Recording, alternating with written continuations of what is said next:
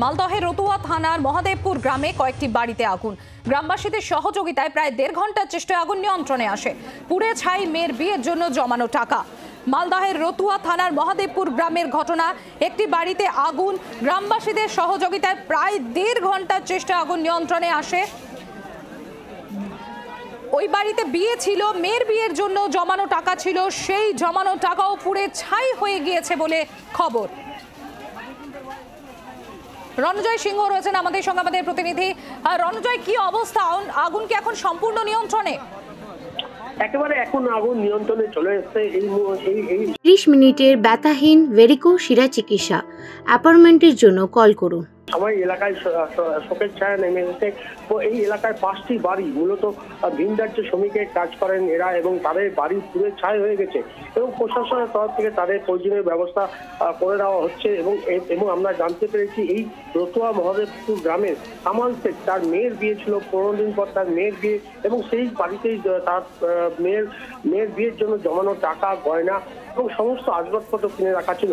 সমস্তটাই পুরে ছাই হয়ে গেছে এবং তিনি মেয়ের বিয়ে দিবেন কি করে সেই নিয়ে চিন্তায় তার কপালে ভাঁজ করেছে এবং পুরো ঘটনায় কিন্তু এই এই আজকে রতুয়া থানা এলাকায় এই ঘটনা ঘটেছে। হঠাৎই বাড়ির পুরো উনুন থেকে আগুন ছড়ায় বলে প্রাথমিকভাবে আমরা জানতে পেরেছি এবং সেই আগুন প্রচণ্ড তীব্র দাবদাও রয়েছে এলাকায়, যে কারণে কোনো রকম আগুন নিয়ন্ত্রণ করা সম্ভব হয়নি। এবং সেই তীব্র দাবদাহের মধ্যে সমস্ত বাড়ি, এই এলাকায় যে পাঁচটি বাড়ি ছিল ওই অঞ্চলে, সেই পাঁচটি বাড়ি পুরো ছায় হয়ে গেছে এবং প্রশাসনের তরফ থেকে খবর পাওয়া সত্ত্বেও দমকলের একটি ইঞ্জিন দিয়ে আগুন নিয়ন্ত্রণে আনে।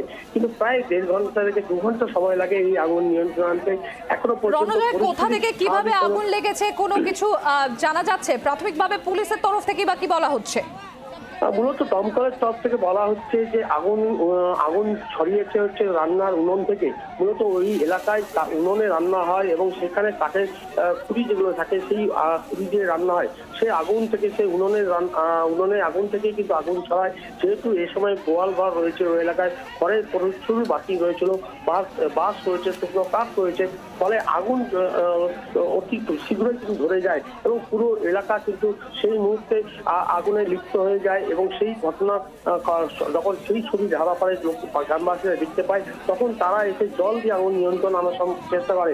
কিন্তু এলাকায় দমকল অনেকটা দূরে থাকার জন্য দমকল সঠিক সময় আসতে পারেনি। প্রায় কয়েক ঘণ্টার পর সেই দমকল এলাকায় পৌঁছায় এবং ততক্ষণে প্রায় ত্রিশ মিনিটের ব্যথাহীন ভেরিকো শিরা চিকিৎসা। অ্যাপয়েন্টমেন্টের জন্য কল করুন। কিন্তু পুরো এলাকায় ছেয়ে যায় এবং তাকে নিয়ন্ত্রণ করা সম্ভব হচ্ছিল না। এবং দমকল কর্মীরা প্রায় দেড় ঘণ্টার চেষ্টা করার পর এই আগুন নিয়ন্ত্রণ আনতে পারে এবং সেই নিয়ন্ত্রণ আনার পর এখনও কিন্তু এই এই এলাকায় সিলেট সিটি এলাকায় পকেটে বেশ কিছু এলাকায় ধুয়ো উঠছে। সেগুলো সেই আগুন, সেই ধুয়োগুলোকে জমানোর চেষ্টা করছে দমকল কর্মীরা। সম্প্রীতি বাংলার আওয়াজ, বাঙালির আবেগ। জি, চব্বিশ ঘণ্টা।